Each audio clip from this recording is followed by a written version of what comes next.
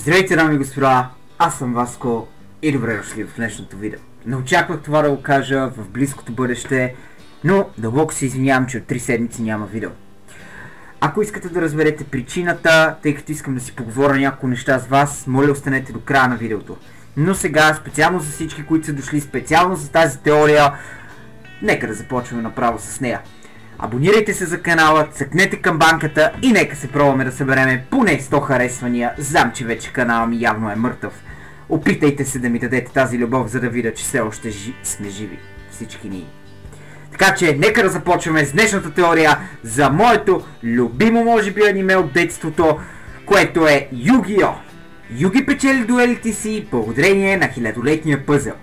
Ако вече не сте били наясно от гледането на анимето, Ями Юги вярват в концепцията, наречена сърцето на картите или душата на картите.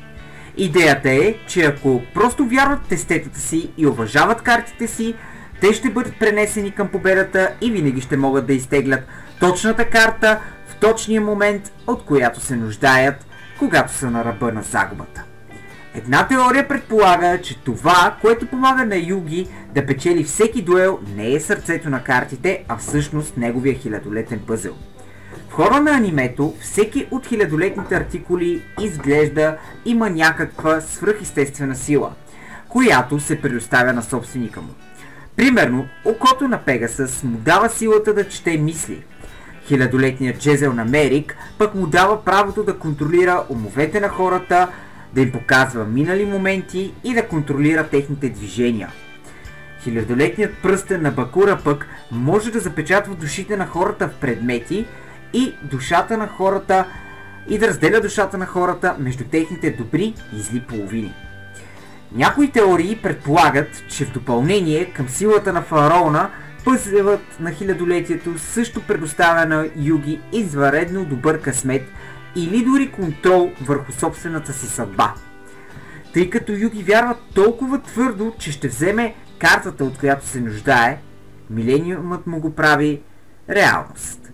Със сигурност това обяснява как Юги е успял да спечели толкова много дуели.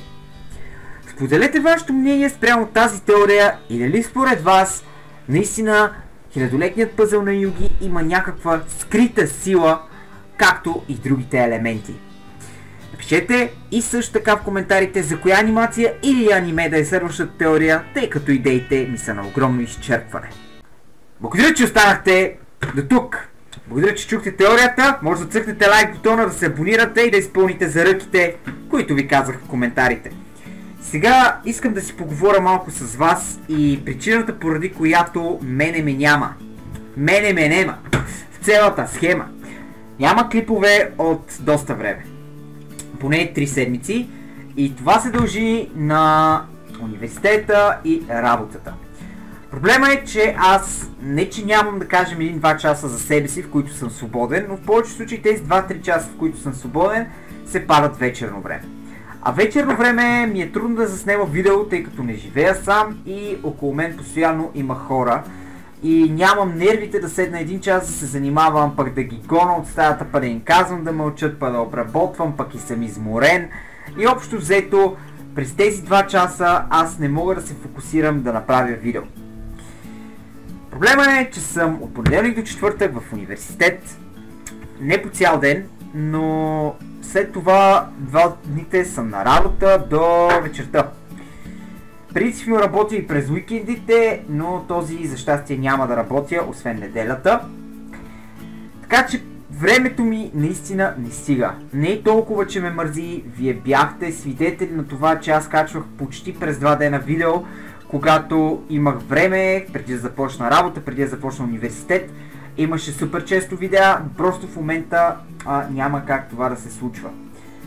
И Идеята ми е, че аз искам да продължа с YouTube, тъй като тък му се развихме, тък му станахме повече, тък му се иззарадвах, а, имах хора по улицата, които ме срещат, имах хора в киното, където работя, дойдоха да ми кажат а, здрасти. А, много съм радостен от този факт и наистина съм благодарен. А, исках да развивам поредицата с Q&A, но нямам времето да седна да запиша клипа и като сметна, че после ще ми трябва и сумата и време за обработка, направо ми се пълни душичката от болка. Но, ще преследвам мечтата си и ще продължавам да правя YouTube, поне колкото мога. Ще се опитам да има поне две видеа на седмица. Наистина не ви обещавам, но ще се опитам. Самия аз мислех, че като почна студентство а, ще имам повече време, отколкото когато бях на училище. А, но може би не е точно така. Не съм много сигурен.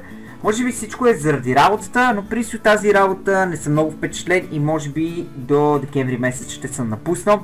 Което означава, че до декември, след декември месец а, отново клиповете ще се засилят, докато не дойде януарската, януарската сесия в университета, където клиповете отново ще замрат. И то под замрът имам предвид по едно видео на седмица, ако има ще е добре. А, обмислях да правя и влогове, обмислях да правя и някакви такива неща, по-забавни, по-готини, с хора, без хора, сам, най-вероятно сам. Обаче, а, отново, отново нямам времето. Идеите също ту ми минават през главата, влезеш си скъпеш, влезем под душчето, мини ми някаква идейка през главичката, забравяме след 2 часа и до там. И общо взето исках да правя колаборации с други ютубъри, но тъй като аз не познавам други ютубъри, тази идея бързичко отмина. И общо взето, сега ще се придържам към теориите, ще започна Q&A и ви обещавам, ако не в тази седмица, мисля, че в тази седмица ще успея да снимам този епизод на Q&A първият, т.е. той се пара трети, но както и да е. За да може да си зададете въпросите за следващия Q&A. Така че, спокойно хора, а пък за стримове, да не говорим, естествено, единственото, което не ми пречи да снимаме геймплей. Геймплей мога да снимам почти всеки ден, тъй като аз почти всяка вечер примерно цъкам лига, бих цъкал и някоя друга игричка за кратко. Но ви обещах, че гейминг канала ще започне да се да функционира след като направя 10 000 абоната в този. Което означава, че вие трябва да се разбързате, остават ни още 1500 човека. Споделяйте тези клипове, помагайте ми, ще ви бъда адски, адски благодарен, ако успееме, успееме да го направим това нещо. Съжалявам, че това видео е малко по-дълго, но просто трябваше да си изясним тези неща, в които аз просто да ви говоря. Съжалявам, че не ми се вижда лицето. Те си някакви картинки ще сложа сега, за да гледате нещо все пак. Би просто едно микрофонче с бекграунд, тъй като нямам и много време за обработка на клиповете. Наистина, наистина нямам. Ако, ако имах време, окей, обаче наистина нямам време. А, прибирам се изморен, ставам рано сутрин, прибирам се в 11 вечерта, примерно някои дни, някои дни да се прибере така, както съм сега.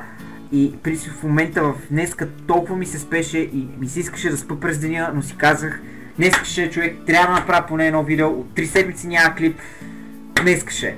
Няма да го турмозиме, няма да го пипаме, това е. Така че след това видео ще поспа да кажем към един час и след това може би ще излеза малко, защото днес съм почивка. Отново работя и общо взето ми се струпват и ангажименти. В дните, в които наистина не работя и се чувствам окей, пък гледам да излеза с приятели, гледам да излеза с приятелката насам натам и наистина за YouTube не остава почти никакво време. Та, благодаря на всеки, който е изгледал видеото тук. Наистина, наистина не искам да се сърдите от това. Аз а, съм забелязал издигането на канала ми в сравнение с преди една година. И съм много щастлив, но наистина няма, нямам възможността в момента да, да ви покажа, да ви се отблагодаря по някакъв начин под формата на ежедневен контент или поне 4-5 клипа седмично. А, ако искате да изгледате, т.е. да, да, надявам се да достигне това видео до възможно най-много хора. Не направих отделно видео, защото теориите ми са най-гледани. Така че предполагам, който реши да остане да изгледа до тук, ще е разбрал всичко. Трябва да спра да се повтарям, така че чао чао, лек ден! Ви пожелавам вечер или когато гледате това видео, друго видео, не знам кога ще има скоро, но се надявам да е скоро. Чао чао и любов за вас!